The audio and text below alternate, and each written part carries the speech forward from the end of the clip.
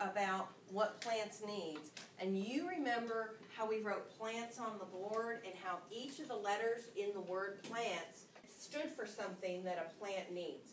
One of those was place.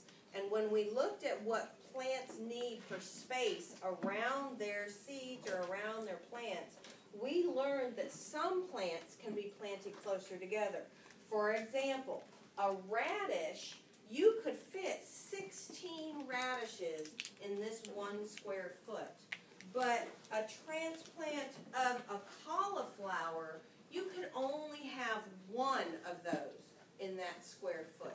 So remember, each plant, depending on how big it is when it grows to its full size, will need a certain amount of space.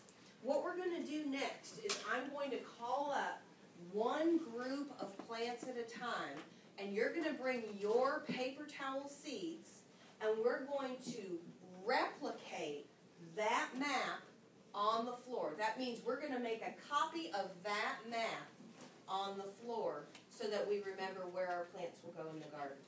Okay, I'm going to call one group of seeds at a time. When I call your group, if you have that paper towel, you're going to bring your paper towel up and we're going to lay them across in sets of three. Carrots, come on up. Three across. Lay it down, seed side up. This side for me, Bentley. Maybe you'll put yours here. Excellent. Good job, guys. There you go.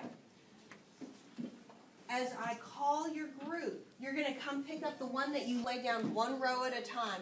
This time when you come up, make sure you have your pencil because we are going to take those pencils outside to use to poke the seeds into the soil. All right, we're going to recreate the garden that we had in the classroom out here on the actual soil. We'll get all three laid down, edge to edge. Let her get it wet. Your fingers might get a little bit wet, and that's okay. All right, perfect. Back to your spot. If you are one of the three broccolis, come see me. Okay, broccoli. Cauliflowers, I need you to listen because you're going to do the same thing in just a second. Okay? You guys are going to lift up your paper towel. You're going to take your plant. You're going to use one of the little hand trowels and dig a hole that's only deep enough so that when you put this transplant into the soil, this is where the soil level is. It matches what's around it. Okay? I'll take it. Dig a hole right in the middle of where your paper towel is. Got it? A little deeper, just put it right next to it. Put it right next to it. There you go. A little bit deeper. There you go. Take. Okay, now bring that in around it. Yep. There we go. And then we want to press it down. You're going to find your seed and you're going to press down with your pencil and try to push it right through the paper towel.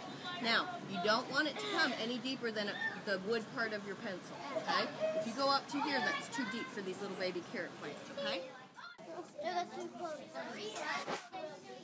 You take your paper towel off and you can bring it over here to our little pile of wet.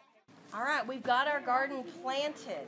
The next thing that we have to do, since we've got them all evenly spaced, is we need to give it one more gentle watering. Just a gentle water. Keep it moving back and forth. There you go. So we have finished planting our seeds. We finished planting our transplants. And what's very important, especially for our seeds, is that we keep that soil wet so that those seeds can germinate and start growing into little baby plants. So in your head right now, I want you to picture a full garden with carrots growing in the soil, broccoli growing on its broccoli plant, and Swiss chard leaves, and cauliflower. We will have a whole salad growing out in our garden in a